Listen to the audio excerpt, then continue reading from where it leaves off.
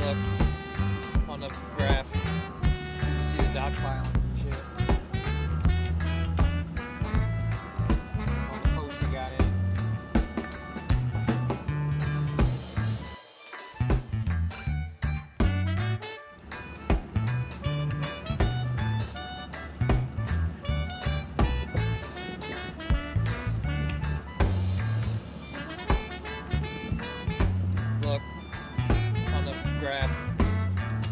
Look